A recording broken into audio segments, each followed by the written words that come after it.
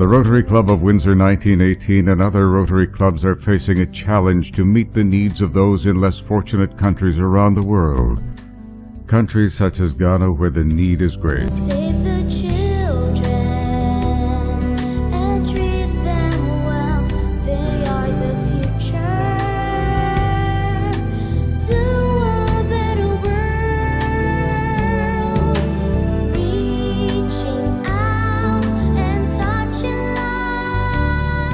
The Rotary Club of Windsor 1918 has been touching lives in Ghana since 1993.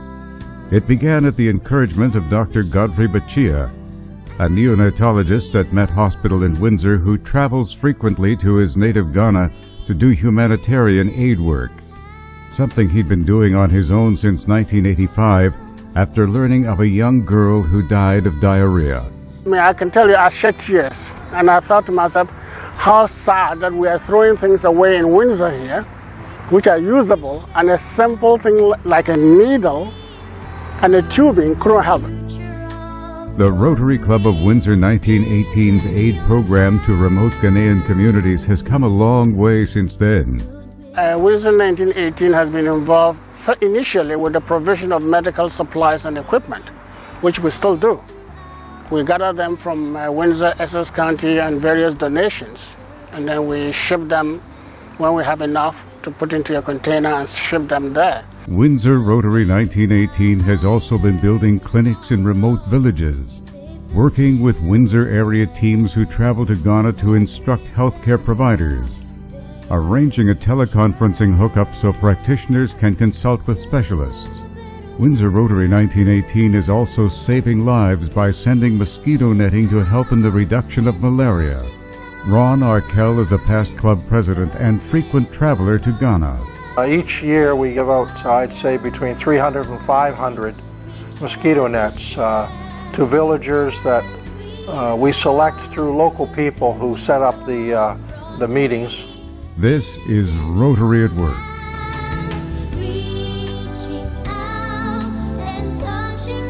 Reaching out and touching lives, building schools in remote areas so eager young minds can learn, equipping schools with desks, chalkboards, textbooks, and supplies. The future of Rotary is in your hands. Practically all residents of the Jirapa area in northwest Ghana are farmers tilling the land on small plots.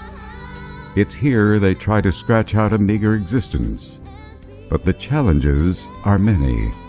Unfortunately, the land is not very fertile.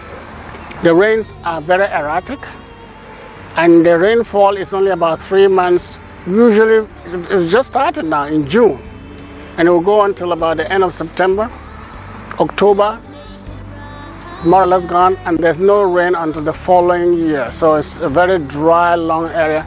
So the one of the big problems of the people in that area is water. And that's where you see the Rotary 1918, some of the projects that we've done lately is drilling boreholes to provide people with simple, clean, potable water for household use. And even whatever is remaining is given to animals because through, during that period of prolonged dry season, there's not even surface water for animals. You could see some places where you can have a pond, and that's where people get water for them use, and the animals also are using the same thing. So you can imagine waterborne diseases. If you go to any place in the Upper West region and say, number one, what do you want? They will tell you water. The Rotary Club of Windsor 1918 has set up a loan system for women to help start their own agricultural program. This has proven quite successful. Some are involved in raising crops. Others are involved in livestock production. As the loans are repaid, the program is expanded. About to get underway is a new initiative to begin adult literacy courses for those who unfortunately did not have the opportunity to attend school, to give them basic reading and writing skills. Dr. Bachia outlines our club's priorities as requested by Ghanaian leaders. Maternal child health, water and sanitation, community development and economic development, like I said, supporting uh, rural communities, self-help groups, uh, and education, basic literacy and education. But not everything is serious work. Some things are done just for fun, like providing soccer balls and frisbees for kids. Yes, there are other villages that need our help. The task of saving lives and raising living standards is a long and difficult, sometimes exhausting journey, and always with the children first in our minds. The Rotary Club of Windsor 1918, along with our Rotary partners worldwide, are playing a critical role, reaching out and touching lives.